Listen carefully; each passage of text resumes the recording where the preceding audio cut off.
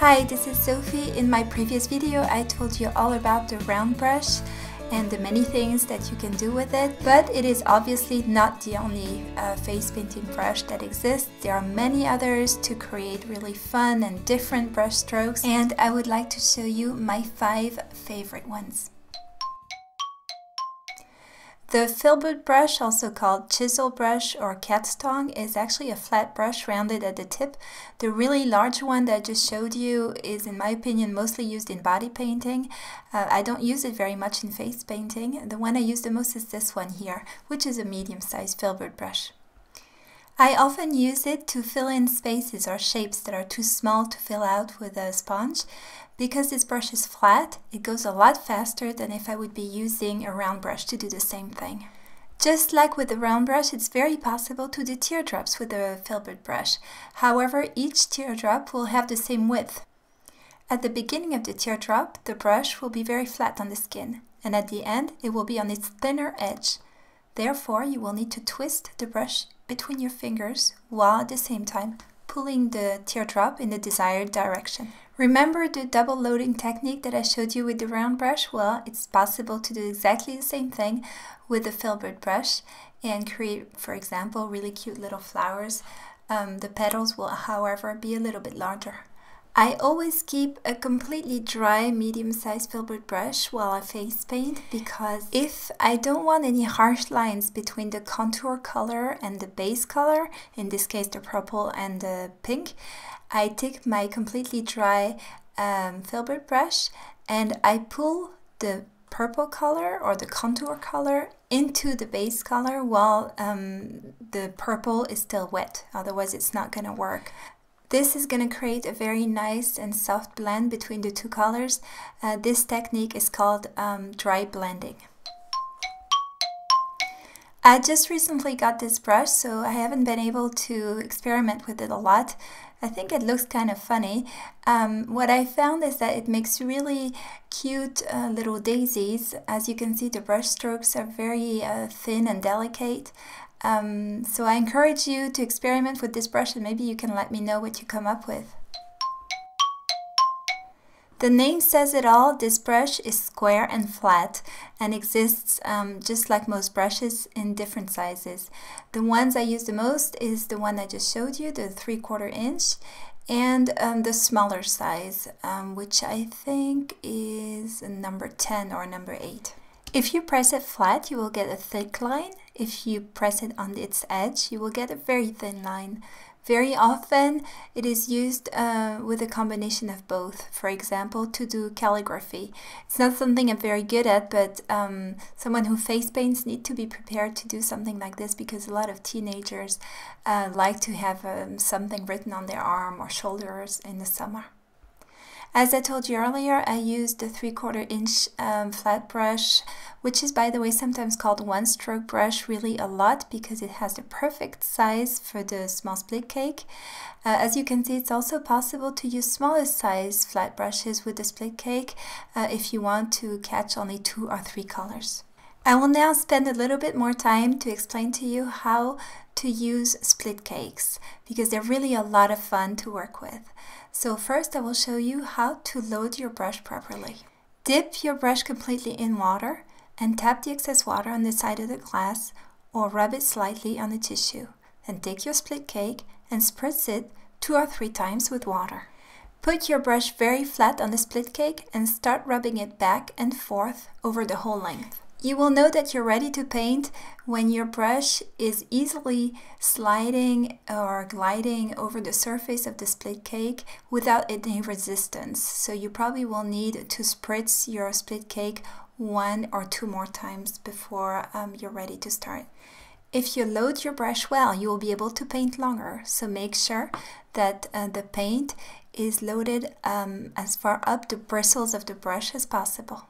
When you need to reload your brush, just spritz your split cake and rub the brush on the surface. However, if you spritz too much water, this will happen. All the colors will get muddied up together. So get rid of the excess water, clean the surface of your split cake with a wet tissue, and start again from the beginning. Here are a few strokes that are good to practice before you start more complicated designs. First of all, a simple straight line. Use then only the edge of the brush and create a series of straight, thin lines. Try to do a small bridge, then flip your brush over and do another one next to it. Now the colors are inverted.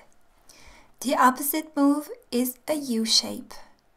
Now here's one that I use a lot. A simple straight line and a sort of half circle underneath. And this is the petal shape. Notice how the bottom bristles where the purple color is are hardly moving at all, while at the same time the upper bristles where the green color is are doing a complete half circle. What I call the flame shape requires a little bit more practice. Start with a small V, then place your brush flat and end on its point, while at the same time twisting it slightly. Then do the same thing on the other side. The next step would be to practice uh, these different shapes at different angles, either on the practice head if you have one, or you can also laminate a picture of a head and practice on it like I'm doing right now. And just in case you're wondering, I'm right now using what I think is a very beautiful and elegant split cake uh, color combination called Retro from the brand Chameleon. This was sent to me by a very nice lady who owns an online uh, face painting shop in Germany, and I will put her reference in the description box below. Go ahead and try to combine the different shapes into one design. For example, this is uh, the typical princess crown. And these are the famous one-stroke rosebuds. Look, it's so easy. A little bridge, a little U, and a couple of uh, teardrop shapes on the side. As I mentioned before, I often use smaller size flat brushes with split cake. For example, when I want to use a two color combination, uh, just like here, the light and the dark green, to paint some leaves. I use uh, my flame shape to do the simple leaf and I usually paint them in uh, little groups. And here is another form of leaf um, that you might want to try out. These little leaves are not too complicated to make and they really are great enhancement to any flower design. The liner brush has only a few bristles that are very long and soft. When it is loaded with paint, it should have a sharp point. It can be used to create a very delicate outline, for example here around the flowers and leaves that we painted earlier. I personally find it a little bit difficult to manipulate, but I've seen some other face painters um, use it um, a lot better than me to create some beautiful curls and swirls to enhance their designs or to add um, tiny details and um, bring uh, highlights and lowlights wherever it's needed. I personally use it mostly as an eyeliner, which is obviously perfect for that. If I'm face painting an adult or if the child is old enough, I might also underline the eye and for an even more dramatic look, create a small triangular shape in the inner corner of the eye. The angular brush looks actually very similar to the square flat brush except that the bristles have been cut at an angle. This unique shape makes it ideal in my opinion to outline the wings of a butterfly which is what I mostly use it for by alternating between thin and thick lines. I sometimes paint another layer inside of the wing of the same or different color uh, to add more interest. This is how I clean my brushes after a job. I first put them under running water to get rid of most of the paint uh, inside of the bristles. I use a special brush soap um, from Da Vinci uh, this is a really, really good soap and I highly recommend it. I rub the soap into my hands until I have a lot of foam in them. Then I grab my brushes and I start um, massaging the bristles uh, between my fingers quite firmly. Um, don't be afraid uh, to do this for at least a minute because you will see that uh, the paint inside uh, keeps coming out. I then rinse them thoroughly and dry them with a kitchen towel. And this is important. I smooth um, the bristles between my fingers to straighten them and make sure that they're back to their original shape. And I make sure that all the points are quite sharp before I put them down uh, to dry overnight. To store my large brushes, I use this practical traditional makeup artist brush bucket, which is made out of a flexible synthetic material, which is easy to clean. Uh, it's closed with a velcro and as you can see inside each brush has its own little compartment which makes it very easy to put them in and take them out. For my smaller brushes I use this uh, hard case from Artbin.